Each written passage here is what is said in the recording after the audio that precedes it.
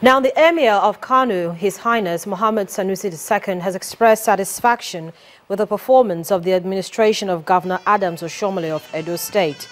During a courtesy visit to the government house in Benin City, the Emir said he's happy with the position of Governor Oshiomhole on national issues, particularly on minimum wage. Governor Adams Oshiomhole, while responding, extolled the virtues of the traditional ruler, saying his appointment as the Chancellor of the University of Benin is well-deserved. See that the governor is doing well. I love everything. I've been following some of your recent comments on the minimum wage. I'm here this time on the occasion of the honor done to me by the President and the federal government of Nigeria in appointing me the Chancellor of the great university, University of Benin.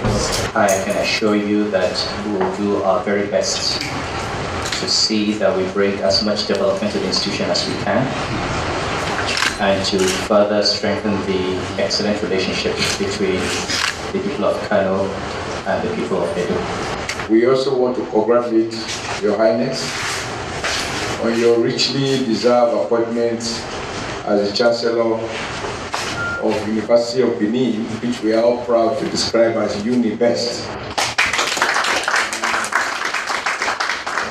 These there's argument whether it is better than AAU. so for that issue will not be resolved today. Uh, but we are very proud of the university. It's made enormous contribution to the development of this great state. And uh, I'm sure under your leadership it will witness even more growth and development. And uh, Edo as a community we continue to benefit